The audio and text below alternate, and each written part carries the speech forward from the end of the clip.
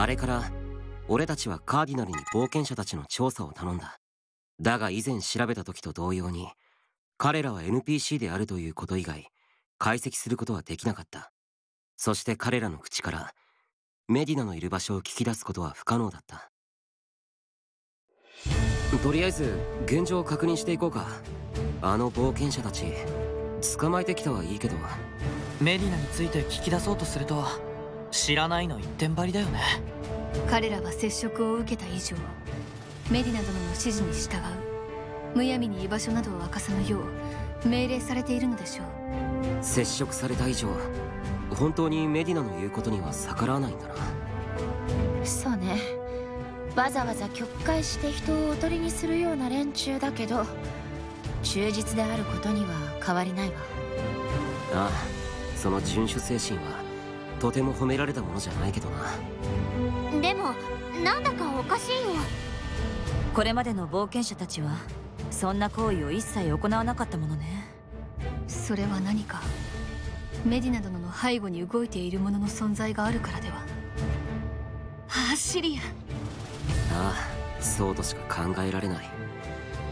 やっぱりメディナの動向を追っていくほかないか。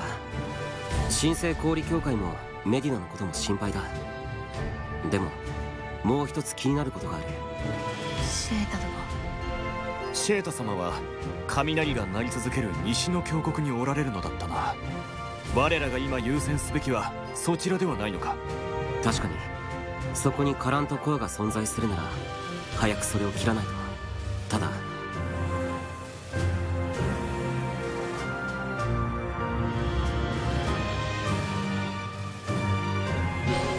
西の峡谷を目指すべきなのは分かってるけど冒険者たちがまた問題を起こすようなことがあれば申し上げます西帝国より報告を受けました大型の魔獣が発生したようですそしてその近隣にカラントも確認されましたがなぜかその前に立つ人々の姿があったと早速かまた神聖氷協会の協力者でしょうか座標はこちらです。ちょうどその座標は峡谷につながる道の途中にある。西の峡谷を目指しながら俺たちが調査に行ってもいいか。西の峡谷の雷は心配だ。でも冒険者のことも放っておくわけにはいかない。分かった。よろしく頼むぜ。そして俺たちは再び峡谷を目指しつつ魔獣とカラントを守る冒険者たちのいる座標へ向かうこととなった。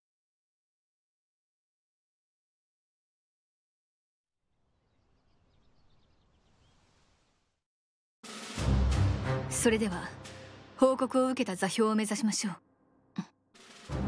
アリス大丈夫か？いえこうしている間にこれ以上の犠牲が出ぬことを祈るばかりです。そうだな。今魔獣とカラントのもとへ急ごう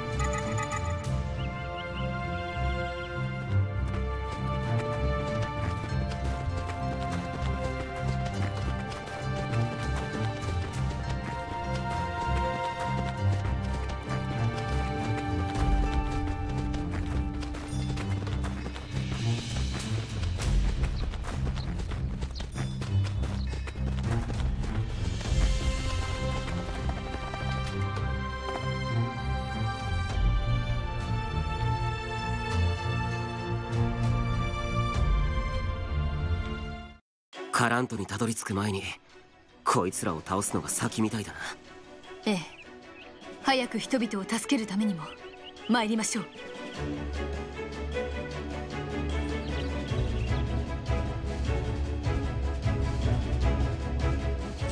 し！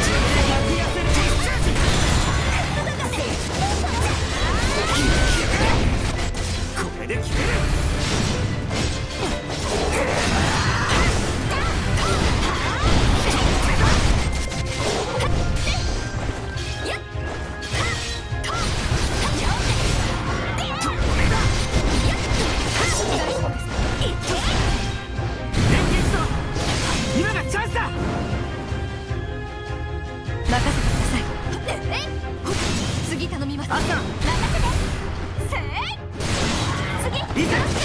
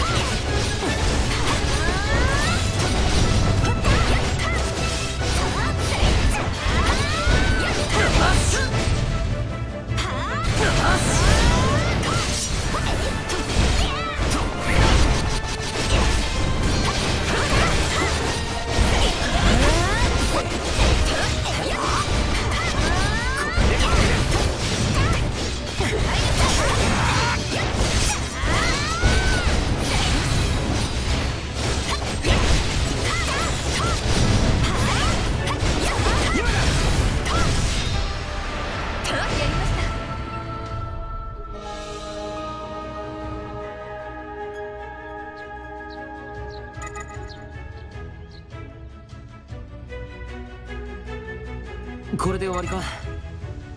この周辺にカラントがないか探しましょう。ああ。